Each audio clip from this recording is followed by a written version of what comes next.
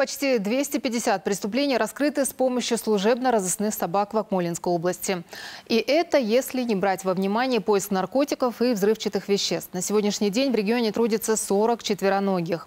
О работе кинологов и их подопечных в материале Оксаны Матасовой.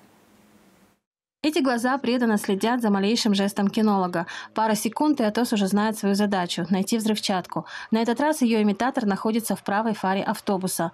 Обнюхав все вокруг, пес замирает прямо возле того самого места.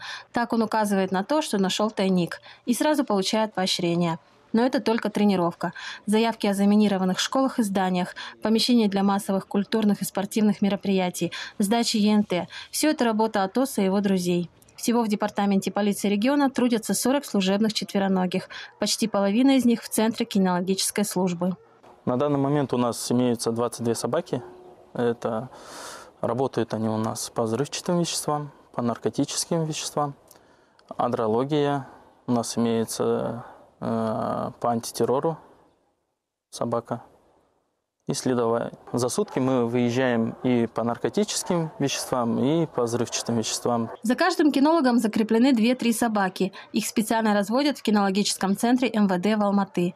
Кинолог Андрей Пугачев работает с собаками вот уже 4 года. Немецкая овчарка Атос его подопечный. И хотя псу всего 2 года, за его плечами уже множество зачисток на наличие взрывчатых веществ. У каждой собаки есть свой характер.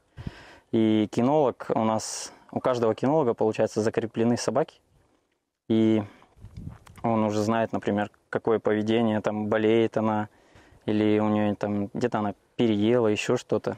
А, у нас, получается, собаки делятся на четыре типа. Это холерик, сангвиник, флегматик и меланхолик.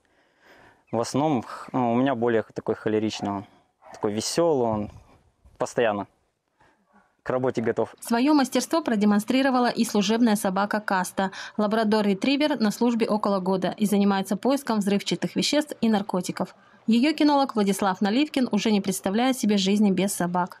Перевелся я с города Тараза. Э, занимаю, занимаюсь собаками, э, дрессировкой собак э, с, школь, с школьных времен еще.